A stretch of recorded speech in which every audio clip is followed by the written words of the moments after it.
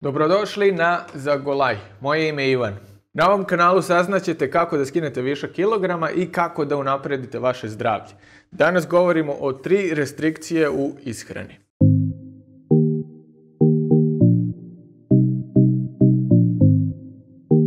Biti mršav ne znači nužno i biti zdrav, ali biti debeo definitivno znači da nešto nije u redu sa našim zdravljem.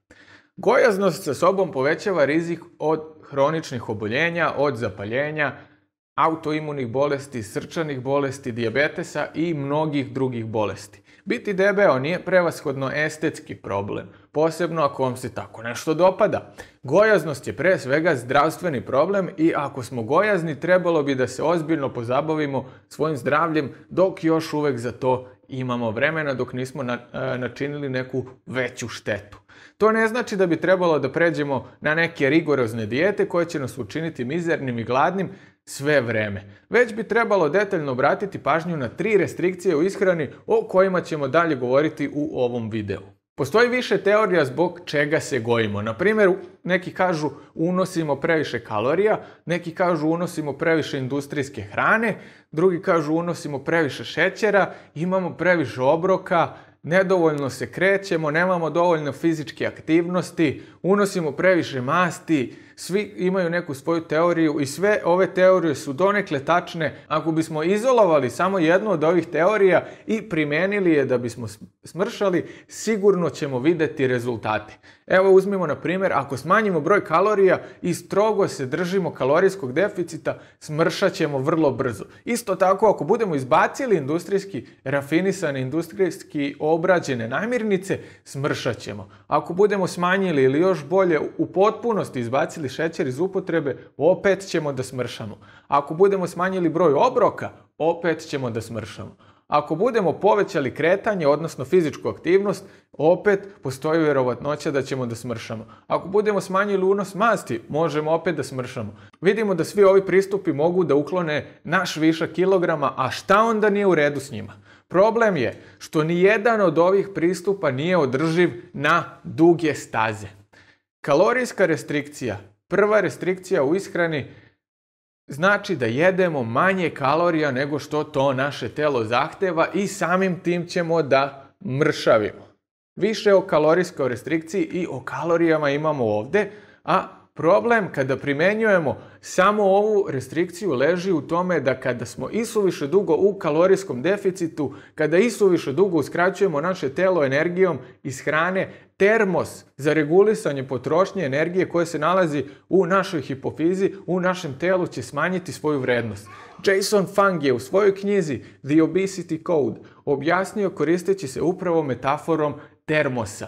Recimo da je naš termos podešen na 2000 kalorija. Što bi bilo ekvivalentno tome da je termos našeg stana podešen na 22 stepena. To je onako prijatna temperatura.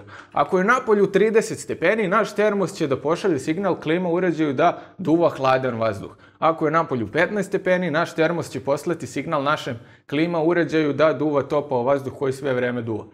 Slično tome funkcioniše i naše telo. Ako unesemo previše energije, 2500 kalorija recimo, naš termos će poslati signal telu da troši više energije. Ako unesemo 1500 kalorija, naš, naš termos će poslati signal našem telu da troši manje energije. Tih 500 e, kalorija deficita koje našem telu trebaju, a nismo uneli su, mogli biti potrošeni na rad srca, na rad mozga, e, na disanje, grejanje, varenje, e, kretanje, i kada ne unesemo tih 500 kalorija, znači da će naše telo morati ili da uspori ili da te tu energiju crpi iz masnih ćelija ili će obustaviti neke od funkcija gdje će vitalne funkcije imati prioritet. Vremenom vrednost našeg termosa, termosa će da se smanji na 1500 kalorija i mi ćemo se osjećati letargično, usporeno i zbog toga što nam je usporen metabolizam, što nam je termos podešen na manju vrednost, znači da ćemo početi da stagniramo sa gubitkom kilograma i da ćemo čak početi da se gojimo ako značajno povećamo unos kalorije. Sad, koji je uzrok gojaznosti onda ako nisu kalorije? Gojaznost nije isključivo posljedica prejedanja, loše ishrane, genetike, kalorija, ugljenih hidrata. Gojaznost je posljedica hormonskog disbalansa, pre svega insulina i kortizola, gde je insulin hormon odgovoran za podešavanje termosa i preusmjeravanje nutritivnih materija. Dok se insulin nalazi u našem krvotoku, ne možemo da trošimo energiju iz masnih naslaga. Da bismo regulisali našu telesnu masu i zdravlje, neophodno je da regulišemo nivo insulina, a to se može uraditi na više načina. Različite namirnice uzrokuju različito lučenje insulina gdje prednjače ugljeni hidrati, a u stopu ih prate određeni proteini. Kortizol, ako ne znate, je hormon kog lučimo za vreme stresa. Njegova uloga je da sprovede glukozu u mišiće kako bismo mogli da bežimo od nekog predatora koji nas je napao. Ako u našem telu nema glukoze, u prisustvu kortizola otpočet će proces glukoneogeneze, odnosno naše telo će stvoriti sobstvenu glukozu i ubrizgati je u mišiće. Više glukoze znači više insulina. Kako nam danas redko kada preti opasnost od divljih zveri, već smo anksiozni zbog problema na poslu, problema u porodici, iznervirao nas je neki političar i kako nismo primorani da trčimo svaki put kad smo pod stresom, ta glukoza neće biti iskorištena za trčanje, već će biti transformisana i skladištena kao mast. To nas dovodi do idućeg problema, odnosno previše glukoze u našem telu koja je poreklom iz nekih drugih izvora, koja je poreklom iz ugljenih hidrata. Druga restrikcija u našoj ishrani je nutritivna restrikcija. Rješenje koje se nameće za ovaj problem je drastično smanjivanje unosa ugljenih hidrata. Što nude keto i low carb ishrana? Postoje i druge restriktivne ishrane, na primjer high carb, veganska, vegetarijanska, ali o njima nećemo govoriti u ovom videu, možda nekom drugom prilikom. Kao što smo već rekli, ako značajno smanjimo unos ugljenih hidrata, smanjit ćemo nivo šećera, smanjit ćemo lučenje insulina i smanjit ćemo kilograme. Ali taj metod često najđe na neki plato, što znači da počnemo da stagniramo, a razlozi za to mogu biti mnogobrojni. A jedan od osnovnih razloga je insulinska rezistencija. Bez obzira što ćemo izbacivanjem ugljenih hidrata iz naše ishrane omogućiti našem telu da luči znatno manje insulina nego inače, ako imamo insulinsku rezistenciju i to malo insulina što lučimo neće moći adekvatno da obavlja svoju funkciju jer će naše ćelije odbijati da komuniciraju sa insulinom pa će insulin opet morati da preusmjerava svu tu glukozu i druge hranljive materije u masne ćelije ili u urinarni trakt što je još i dobar ishod u ovom slučaju. Iduća stvar koju je neophodno znati da bismo razumeli plato na low carb ishrani je da pojedini izbori proteina, posebno oni koji sadrže mnoštvo leucina, leucin i aminokiselina, uzrekuju podjednako veliko lučenje insulina kao i ugljeni hidrati. Leucin se pre svega nalazi u govedini. To ne znači da bi trebalo izbjegavati e, govedinu. Naprotiv, govedina je veoma bogata namirnica i trebalo bi da bude redovna u našoj ishrani. Ali te porcije govedine ne bi trebalo da budu veće od 200 grama, jer tada nećemo znatno narušiti čitav metabolizam i naše telo neće lučiti previše insulina. Treća restrikcija u ishrani je vremenska restrikcija. Naime, najbolji način da ne lučimo ni malo insulina nije da jedemo low carb, već je da ne jedemo ništa. To je da postimo i da se ne nerviramo, naravno, ali ovo drugo je mnogo lakše reći nego učiniti. Još je Hipokrat, otac medicine, govorio jesti kada smo bolesni znači hraniti bolest. Ali o postu su govorili mnogi drugi, sve dok se na post nije zaboravilo početkom 20. veka, kada nas je prehrambena industrija naučila da bi trebalo jesti što je više i što je češće moguće, jer se od posta ne može zaraditi. Ne mogu ja da vam prodam post. Odnosno, možete da postite potpuno džaba, ali ako vam prodam nešto da kažem da je ovo za doručak i da je ovo super, onda ja tu imam zarede. Tako su nastale užina, što je obrok između obroka, tako je nastao obrok uz film, obrok uz šetnju, obrok u svakoj prilici i u svako doba dan.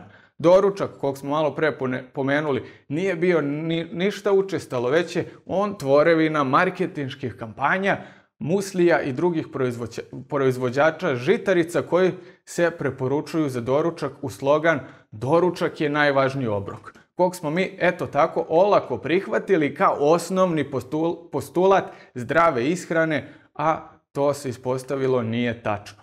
u religiji post u smislu kompletnog odsustva hrane, a ne nekog selektivnog izbjegavanja određenih namirnica, služi za čišćenje tela, ali i duha. I zaista post u svim njegovim oblicima donosi mnoštvo zdravstvenih prednosti gdje je gubljenje telesne mase kada se uporedi sa svim što post pruža samo jedna obična nuspojava. Ali i post sam po sebi nije dovoljan.